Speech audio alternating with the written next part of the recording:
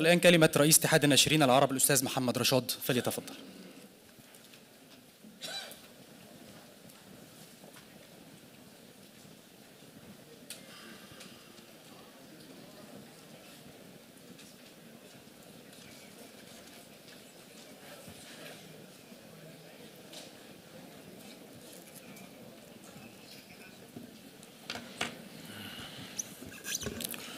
بسم الله الرحمن الرحيم.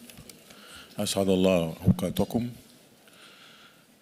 معالي الوزيرة الأستاذة الدكتورة نيفين الكيلاني وزيرة الثقافة.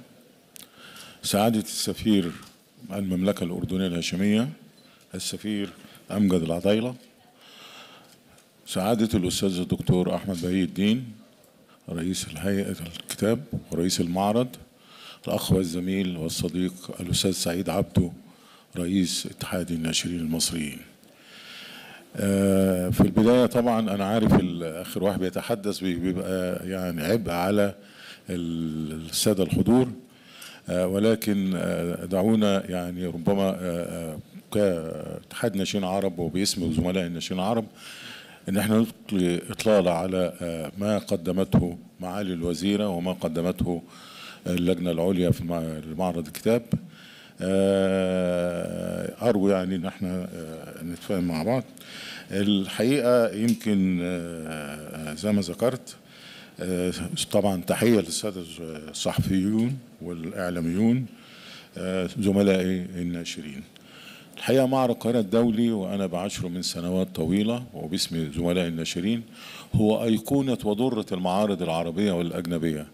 نحن كناشرين عرب دائما نرتاد المعارض العربية والدولية منهم معرض فرانكفورت أو معرض لندن أو معرض باريس أو المعارض العربية اللي هي أخذت خط متصاعد في النمو وفي نفس الوقت في التحديث وأصبحت على مستوى عالي. لكن يظل معرض القاهرة الدولي هو الأيقونة وهو الدرة لأن سبب بسيط قوي أن كل صناع الكتاب في العالم العربي وفي الدول الأجنبية وبالذات في العالم العربي يكونوا موجودين في معرض القاهرة سواء كان كتاب أو مفكرين أو مبدعين أو ناشرين أو مفننين أو مصممين أو أصحاب مطابع كله بيكون موجود في معرض القاهرة الدولي حتى لو كان ليس لديهم أجنحة في معرض القاهرة الدولي دي الميزة الأساسية لمعرض القاهرة الدولي طبعا معرض القاهرة الدولي يعتبر هو من أقدم. أقدم معرض في العالم العربي كجهة رسمية بتنظمه الدولة ربما يكون في معرض النادي الثقافي في بيروت سنة قبل سنة 50 معرض القاهرة لكن ده عبارة عن نادي لكن معرض رسمي للدولة هو معرض القاهرة الدولي الذي بدأ سنة 1969 معرض القاهرة الدولي رغم الظروف واللي بيعانيها وبيعيشها العالم وكان من آثار جائحة الكورونا ثم الحرب الأوكرانية الروسية وللعلم أكثر صناعة تأثرت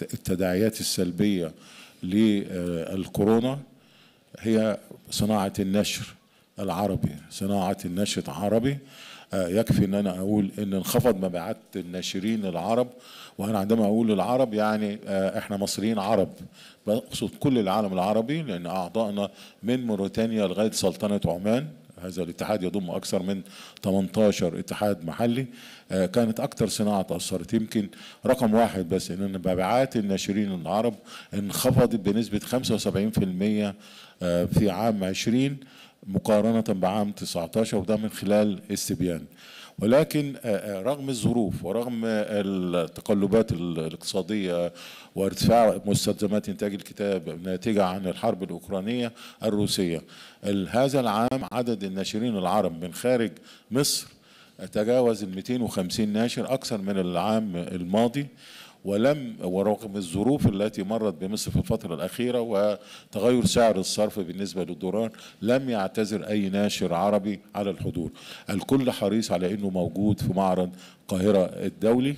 وفي نفس الوقت إحنا كاتحاد ناشرين عرب الحقيقة في ظل هذه الظروف الصعبة وبعض الدعاوي السلبية بالنسبة للمعرض الحقيقة اتحاد الناشرين العرب قرر انه هو بناء على اتفاق مع كل زملائنا الناشرين العرب إنه هيمنحوا خصومات تصل من 30% إلى 60 و70% تشجيعا للقراء وتأكيدا على تواجدهم وحبهم لمعرض القاهرة الدولي.